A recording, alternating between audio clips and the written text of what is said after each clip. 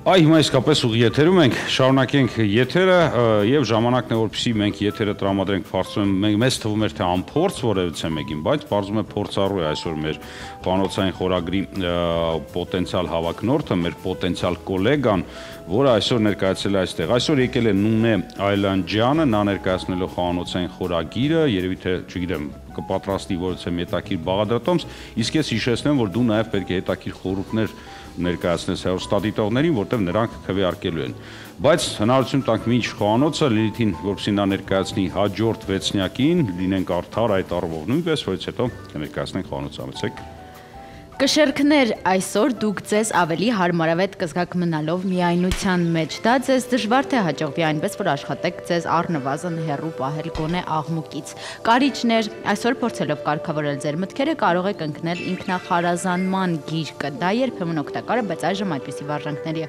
առիթ չկա, իսկ դրա վրա ծախսված հոգեկան ուժերը կլինեն զուր վատնված։ Աղեղնավորներ այսօր չարժե անգամ փորձել բարեկամներից որևէ բան թաքցնել։ Նախ ոչինչ չի ստացվի, երկրորդ կնեղանան։ Ավելի լավ է նրանց համար ինչ որ համեղ ուտրեստ պատրաստեք ընթրիքին։ Այդ եղջյուրները այսօր է կարող է դժվարանակ արտահայտել մտքերն ու զգացմունքները խոսքերով ջրհոսներ։ Այսօր լավ կլինի հատուկ ուշադրությամբ ընտրեք խոսակցության թեմաները, իսկ մի շարք բաների մասին ընդհանրապես պետք է լռել։ Եթե չգիտեք ինչի մասին, ապա ավելի լավ է ընդհանրապես չխոսեք ոչնչի մասին եւ ձգներ։ Այսօր ձեզ մոտ ուրիշի գործերին խառնվելու եւ այլոց ծրագրերը խառնելու հատուկ տաղանդ կհայտնվի։ Ավելի լավ է այն թաղեք գետնի տակ, զղջալու բոլորովին կարիք չի լինի։ Այսքանն էին ուշում հաստղերը աստղագերբի բոլոր նշանների համար ինձ մնում է միայն հիշեցնել, որ աստղերը չեն պարտադրում, այլ միայն հուշում են։ Դե ինչ, իսկ հիմա տեսնենք թե ինչ եք դուք մեզ պարտադրելու, որ մենք այսօր համ տեսենք,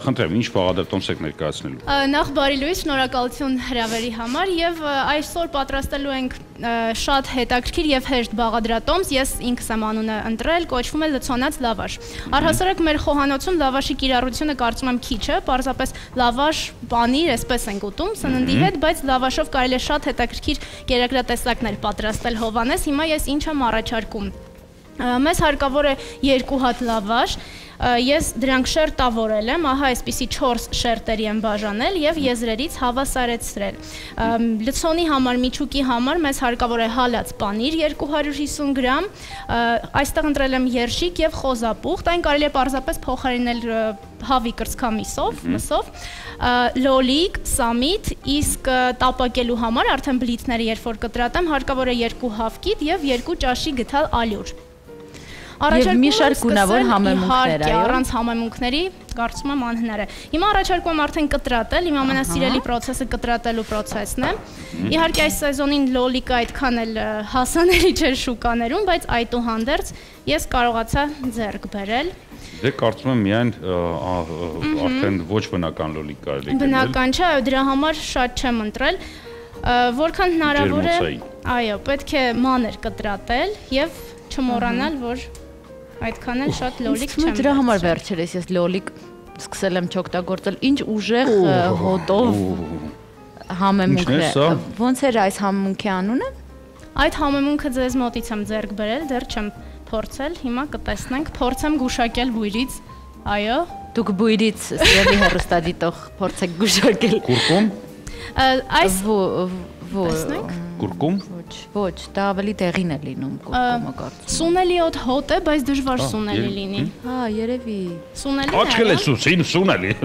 Այո, վրացական սունելին։ Իդեպ ասեմ, որ այս ուտեստում այդքան շատ համեմունքներ չենք օգտագործելու, բայց եթե սիրում եք համեմունքներ, անպայման կարող եք օգտագործել։ Սա ուղղակի գեղեցկության համար ենք այստեղ դրել, որպեսզի գունավոր բարի բուն իմաստով լոլիկը, որն այդքան էլ հեշտ չէ։ Ինձ թվում է պետք է վերցնեիք ավելի մեծ եւ ծանր դանակ։ Քանի որ ես առաջին անգամ եմ ձեր լայն ընթարցակ խոհանոցում, խնդրեմ Լիլիթ կարող է ինձ առաջարկել ավելի սուր դանակ, Լիլիթ, ինչ կասես։ Ահա։ Խնդրում եմ օգնեք ինձ ավելի սուր դանակ։ Հովանեսը հասավ ինձ օգնես։ Այո։ Շնորհակալություն։ Ավելի սուր դանակ, հա, փաստորեն։ Այո, որպեսզի ավելի հեշտ լինի Ամենահարմարը հենց փոքր դանակ դանակն է։ չվերցրեցի, ես ուրիշ բան վերցրեցի։ Դա Դու ավելի փորձեցիր շատ այս մյուս դանակով եւս դա եւս է, սուր Սա չէ։ եւս այդքան էլ սուր չէ, բայց Սա երևի թե ամենալավ տարբերակը մեծ դանակով կտրատելն ինչ փոքրիկ թվում է։ լորիկն է, լավ, ես ամեն դեպքում Ես ը, ն- նախընտրել այսպես։ նախընտրեի փոքրը, դրա համար Այդքան պետք է մանր կտրտվեր փաստորեն։ Այո, որովհետև մենք ունենք լավաշի 4 շերտ, Հասկաց, ինձ թվաց ձեզ մոտ չէր ստացվում դրա համար, տեսեք ես սխալվեցի։ ոչ, ոչ, պարզապես պետք է մանր։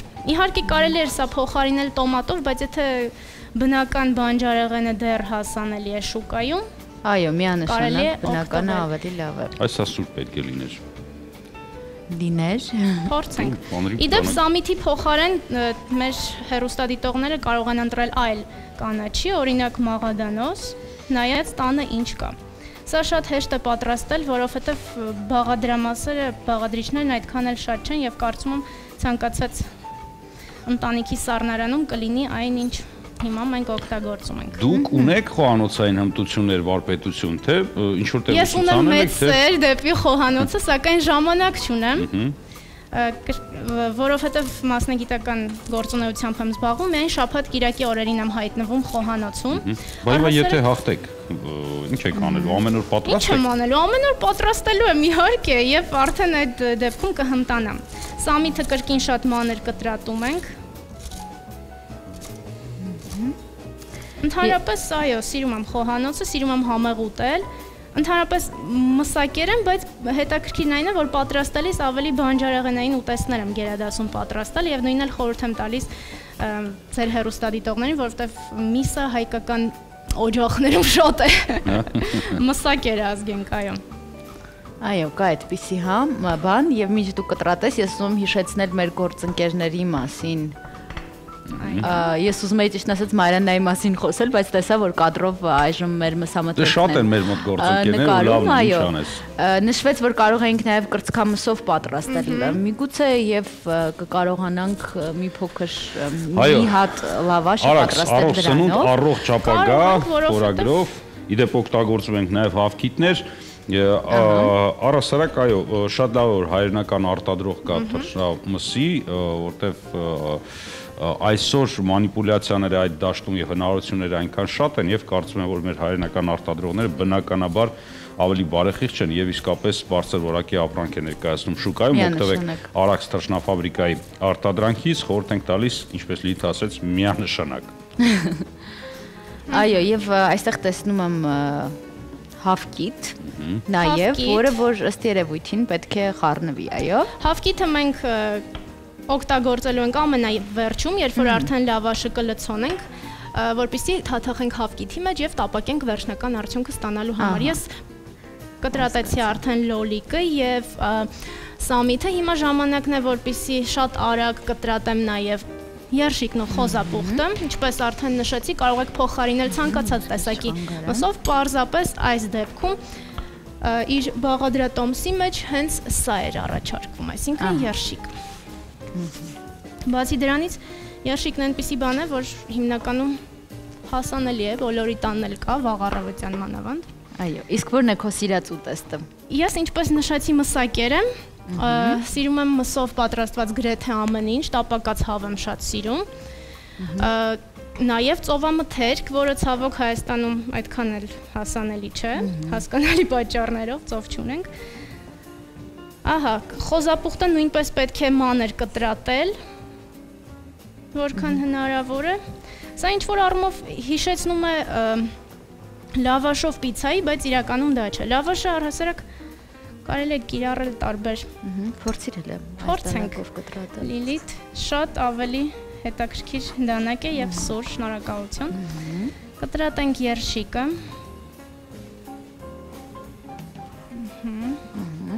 Եվ այս բոլորը տապակելու ենք մենք։ Ա, Սա լավաշի լցոնն է, միջուկն է։ Հիմա դուք կտեսնեք ամենահետաքրքիր հատվածը, ընդհանրապես մի քանի րոպեից, երբ ես իմ առանձնացրած լավաշի շերտերը կբացեմ, կքսեմ հալած պանիրը եւ արդեն շերտ առ շերտ այս բաղադրիչները նույնպես կավելացնեմ լավաշի մեջ։ Շերտերով ենք անելու, հիմա պարզապես կտրատելու process-ն է։ Ես շատ արագ եմ կտրատում։ Համարյա թե այո, ավարտվել է։ Այո, մենք գրեթե այս բաղադրիչներն ամբողջովին կտրատեցինք։ Կմնա։ Իսկ նախաճաշին ինչ ես նախընտրում։ Նախաճաշին ուտում եմ կաթնամթերք Ահա, եւ կատնամթերք կարևոր է։ ասացի, ես ուզում եմ հիշեցնել հերոստատիտողին Մարիանն ընկերության մասին, հատկապես իմ սիրած նախաճաշը հունական յոգուրտն է, որը չի պարունակում շաքարավազ, բավականին շատ է, եւ ահա, այժմ ցուցադրվում է։ Եվ իրականում շատ համեղ է։ Այն կարելի է նաև խառնել որևէ կտ- կտրատել մանր-մանր եւ լցնել նրա մեջ եւ կրկին շատ համեղ կստացվի։ Այո, կաթնամթերքը օգտակար է, չնայած երիտասարդները մանավանդ շատ չեն սիրում։ Հիմա արդեն այն հատվածն է, որի մասին ես սկզբից խոսել էի, քանի որ արդեն մեր հերոստատիտողները տեսան, որ այստեղ առանձնացրել եմ ահա այսպիսի շերտեր լավաշի մեր հայկական ավանդական համեղ, ինչ են կանում։ Առաջին շերտը այսպես փռում ենք եւ պարզապես հալած Ես քեզ պանիրը փոխանցեմ։ Այո, կարելի է։ Հալած պանիրը քսում ենք այս շերտի վրա։ Պանիրը ցավոք այդքան էլ լավ հալած վիճակում չէ, բայց ինչևէ, փորձում ենք այսպես։ Ամեն դեպքում, եթե մենք պատրաստվում ենք հետագայում այս լցոնը տակածնել, պանիրը կհալվի, կարելի է Պանիրը, ուղղակի այո, մեջը կհալչի։ դնել։ Ամեն դեպքում պանիրը կարելի է նաև քերել։ Դե գիտեք տնային տնտեսուհիները ինչպես են, միշտ ինչ որ լուծում գտնում են, երբ ինչ որ մթերք չունեն, չէ։ Ահա։ Պանիրը որ լավ հալած վիճակում լինի, իհարկե նախապես ավելի հեշտ կլինի։ Այո, եւ միշտ ինչ մենք փորձենք պանիրը հալեցնել եւ քսել լավաշին, դիտենք գովազդ, այնուհետեւ վերադառնանք եւ տեսնենք թե ինչ համեղ բան ենք պատրաստում այսօր։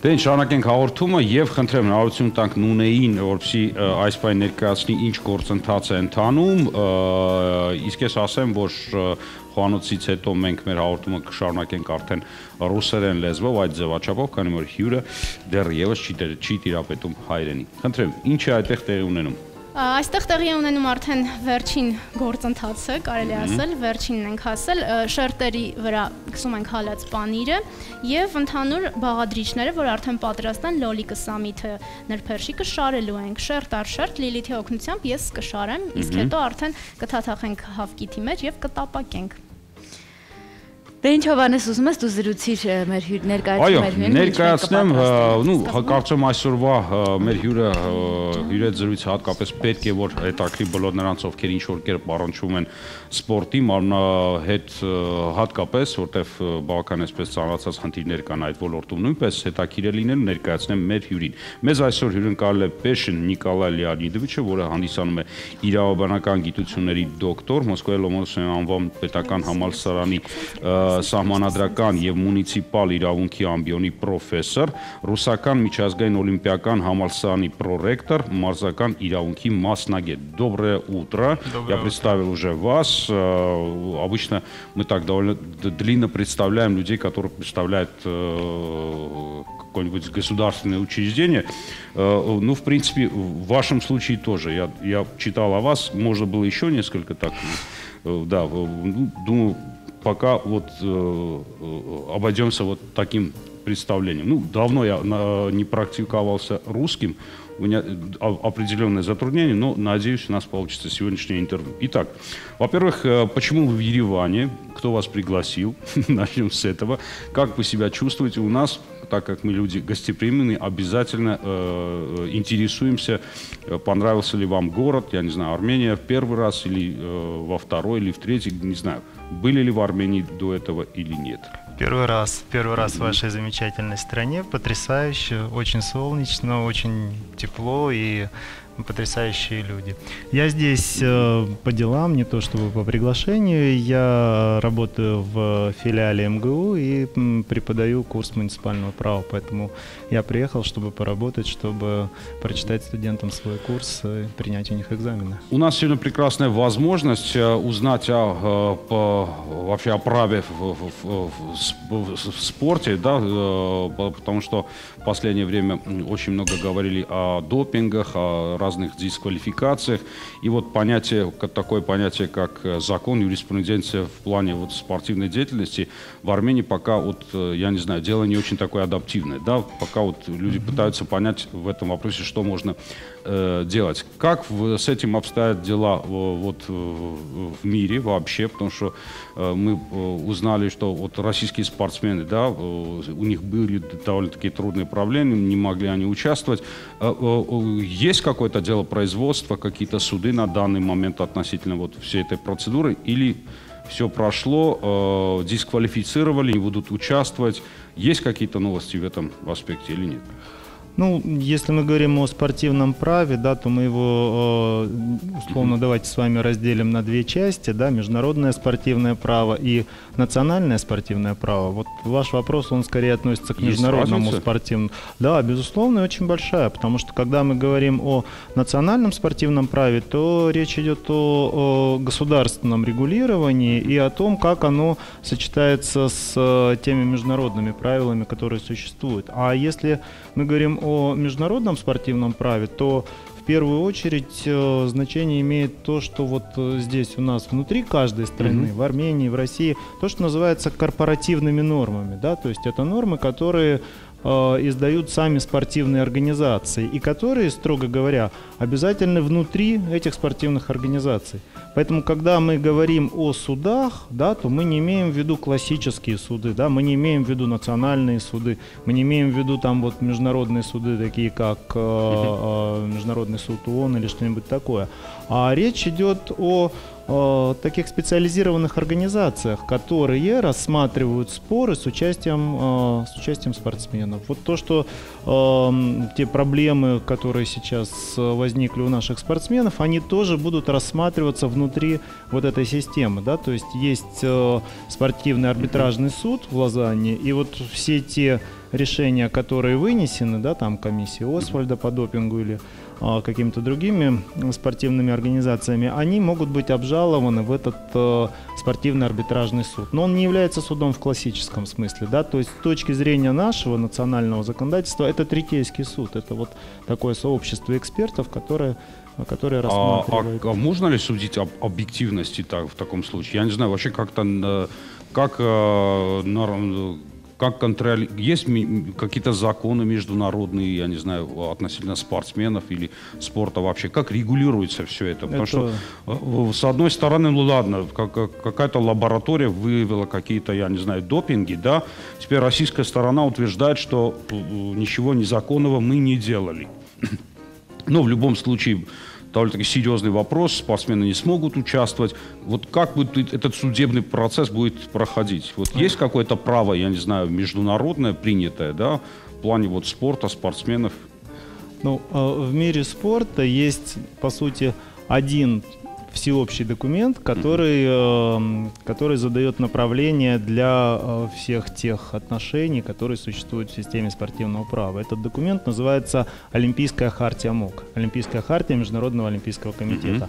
Опять-таки, с точки зрения национального законодательства, эта хартия – это устав общественной организации. Потому что МОК это не правительственная структура, это структура, которую в свою очередь э, в свое время создал э, Пьер де Кубертен и там несколько его единомышленников. То есть и там свои пор она- уставы, свои... вот на основе Олимпийской хартии, да, у нас по сути построена вся система сегодняшнего международного права. А Параллели с э, Олимпийской хартией МОК существуют документы, которые управляют деятельностью спортивных федераций, да, то есть регламент ФИФА определяет, э, как у нас регулируется футбол и так далее, да, то есть вот э, э, уставы и регламенты э, международных спортивных федераций, и вот так условно над ними, хотя и несколько в стороне, да, потому что Да. тут у нас виды спорта, а тут у нас м, олимпийское движение. Вот это самая олимпийская хартия. Вот все остальное вытекает из нее. Если мы говорим про допинг, про антидопинговое регулирование, то здесь еще один документ есть. э, Это антидопинговый кодекс ВАДА. Это тоже э, собрание таких корпоративных норм, то есть э, э, сборник, который правил, который утвержден общественной организацией. Правда, вот э, мы же говорим о международном спортивном Мгм. праве. Здесь есть э, и вот все наши спорт- э, процессы со спортсменами, они будут проходить вот там, да, в этой системе а, антидопинговых правил э, э, э, ВАДА. Есть, э, правда, и межгосударственное регулирование. Э, Под эгидой ЮНЕСКО была принята э, Конвенция о борьбе с допингом в спорте. Это межгосударственное соглашение, и оно определяет обязательства государств по предотвращению вот это допинга в спорте. Да, А, поэтому у нас и в самой системе ВАДА, да, уч- учредительный совет Мгм. ВАДА, он наполовину формируется э, э, представителями государств, поддерживающих антидопинговое движение, Понятно. так же как и орган управления. Но это отдельная история, да, это вот э, конвенция, это то, как государство борется с спортом, э, борется с допингом в спорте. А антидопинговый кодекс это вот тот документ, который определяет, что такое допинг, да, и это документ, собственно, по которому и будут э, судить спортсменов и э, э, ре- решать, там Я бы нет. хотел уточнить вот ваше личное мнение, да, или отношение. Э, Как вы думаете, вся эта история связана в какой-то мере с, поли- с политикой? То есть это на самом деле политика или есть реально какие-то изменения, я не знаю, э, химические препараты, которые в свое время были э, законными, потом стали незаконными. Э, есть в действиях вот анти- антидопингового также вот комитета определенная политика? Я это не, не- э, такой э, чисто вопрос, да, ваши личные как бы заметки, ваше личное мнение мне интересует.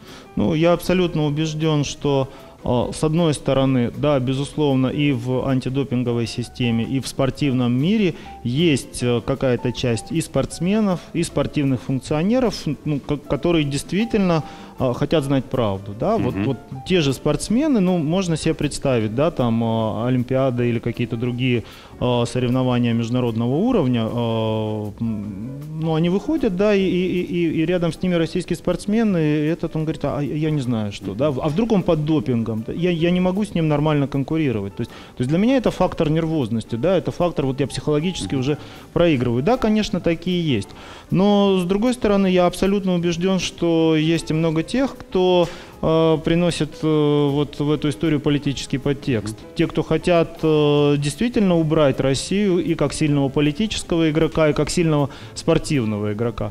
И, э, и это не только вот, собственно, спорт, и не только, собственно, политика, это еще и бизнес. Да? Убираем сильного конкурента, соответственно, э, помогаем не нашим- настолько же наглядно на весь мир, принципе, или можно и так, да? О, ну, слушайте, вот э, не выбираем особо методов, да, что получается, то и получается. А, Есть вот у- удачные кейсы, где, я не знаю, наши юристы, э, наши имеется в виду в этом э, плане, вот российские юристы, вот на ме- меж- международных судах, или я не знаю, э, где вот все, все это происходит, да, имели какие-то э, удачливые кейсы, то есть выигрывали какие-то дела, потому что э, в международ- международной практике есть много э, таких историй, когда просто даже уже человека после того, как наградили, да, медалью, отбирают медаль, и он, э, оказывается, принимал какие-то препараты, о которых даже не знал, я не знаю. Вот все это судопроизводство. Есть удачные кейсы или э, в холостую все как бы? По, по антидопинговым делам нет. Нет.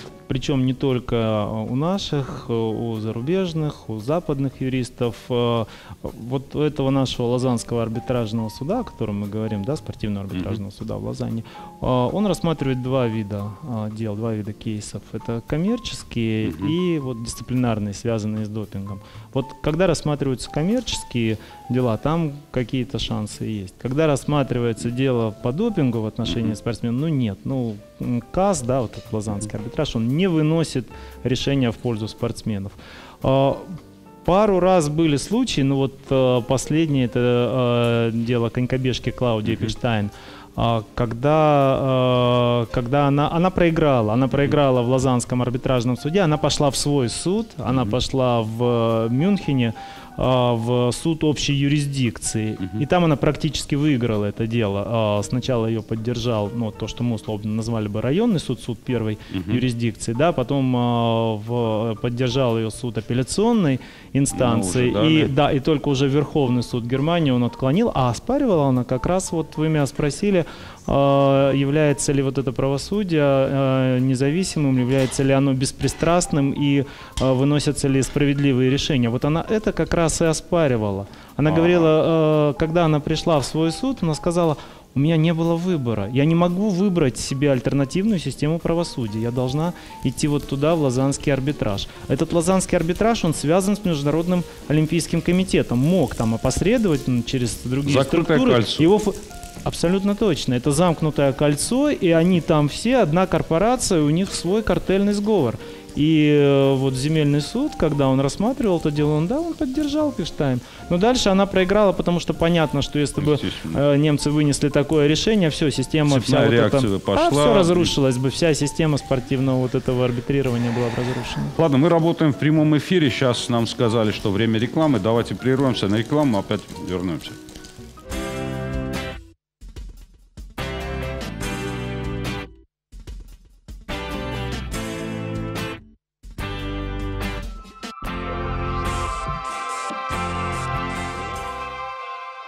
Դեն շարունակենք հաղորդումը, հիշեցնեմ, մեզ այսօր հյուրընկալել է Պեշին Նիկոլայ Լեոնիդը, չէ, որը շատ բան գիտի առասարակ իրավունքի մասին, բայց если позволите, на одну минуту прервемся и посмотрим, что там для нас готовят, какой сейчас процесс։ Ինչ է այդտեղ կատարվում, խնդրեմ։ Դե ինչ մենք բացատրենք այստեղ ինչ կատարվեց։ Մենք ձիթապտղի մեջ տապակեցինք լավաշով լցոնները, որը լցոնված էր պամիդորով, պանիրով, հալվող եւ սամիթով Այո։ Այո, Եվ այո, լցոնից առաջ ձու քսեցինք, ը, խառնեցինք եւ ալյուր մի փոքր հավկիթի մեջ եւ քսեցինք արդեն լավաշների վրա։ Կարծում եմ արդեն պատրաստ է եւ կարող Սա մատուցել։ այո, կարելի է անվանել լցոնած լավաշ կամ պարզապես լավաշով բլիթ, բաղադրիչները արդեն կարծում եմ ներկայացրեցի Լիլիթ, պարզապես արդեն կտրատեցինք, պանիրը որպեսի ավելի հալած լիներ, պետք է երկար ժամանակ, այդ դեպքում ավելի հեշտ կդիպչեին շերտերը միմյանց։